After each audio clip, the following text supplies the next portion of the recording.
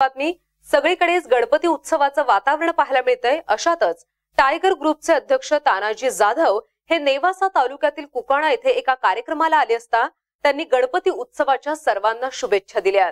सोबतच सातारा सांगली येथील पूरग्रस्तांना सर्वांनी एकत्र मदत करण्याचं आवाहन यावेळी त्यांनी केलंय. पाहुयात. सर्व टायगर ग्रुप सदस्यांनी सर्व मित्र मित्रपरिवारांनी कोल्हापूर येथे दुर्घटना पूरग्रस्तांना सर्वांनी एकजूट होऊन मदत करावी ही विनंती.